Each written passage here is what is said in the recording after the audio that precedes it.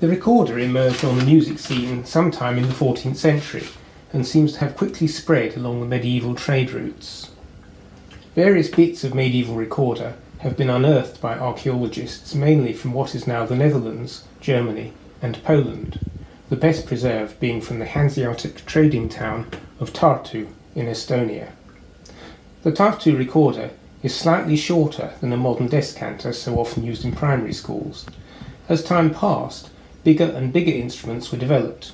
Henry VIII had a collection of perhaps 70 of them, the largest being a great bass, probably playing two octaves lower than a descant.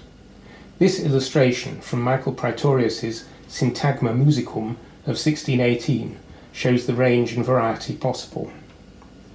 Early recorders had a straight bore which probably limited the range to somewhat under two octaves, though being relatively easy to make. In the 17th century, French makers developed a tapered bore, which produced a full two octaves, but the success of these Baroque recorders was to be short lived, for it began to be superseded by the transverse flute. For a while, the instruments coexisted, as demonstrated in Telemann's concerto, in which the two instruments partner each other.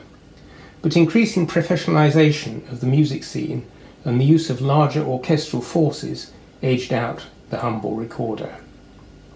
Its revival began around 1900 with a sudden interest in the music of much earlier times, and it was quickly seen that the recorder could play a role in school and adult education. Unfortunately, though the recorder is easy to play, it is not easy to play well and perhaps that explains why Samuel Pepys wrote on the 8th of April 1668 Did buy a recorder which I do intend to learn to play upon, the sound of it being of all sounds in the world most pleasing to me. Yet no more is heard about recorders in the entire diary following the first flush of enthusiasm. Illustrations of a descant, bass, and a treble recorder will be a separate illustration of the tenor later on.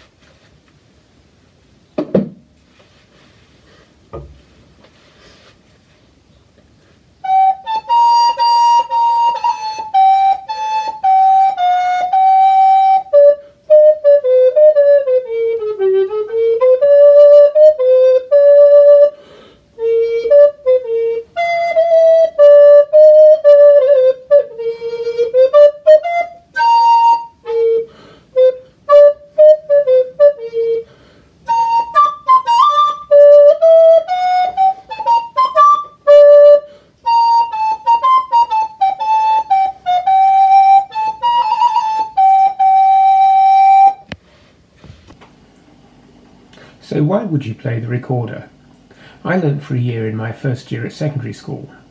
It was a ruse by the music teacher to get us interested so that we progress to a real instrument, in my case, the violin, which was not a success. Then, in my early twenties, I heard David Munrow play at the Senate House in Cambridge. Rather optimistically, I thought I could do that, so I took up the instrument once more. I then joined the Society of Recorder Players and have successively been a member of the London, Guildford, Glasgow, and Macclesfield branches. We are always keen to welcome new members who have a basic knowledge of the instrument. And I was also founder member of the Congleton U3A Recorder Group, which can also help people beginning on the instrument. But that doesn't ask, answer the question why would you learn? For the amateur, the recorder has the merit of being relatively cheap, portable, and comparatively speaking, quietish.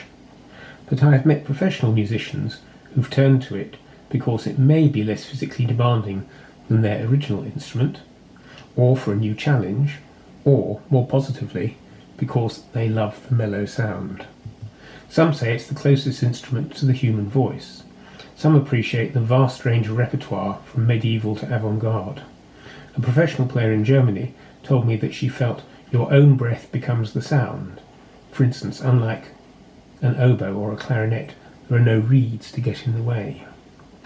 It's encouraging that recorder players have had some success in the BBC Young Musician competition in recent years, following on the trail first blazed by Charlotte Barbour Condini in 2012. Thank you.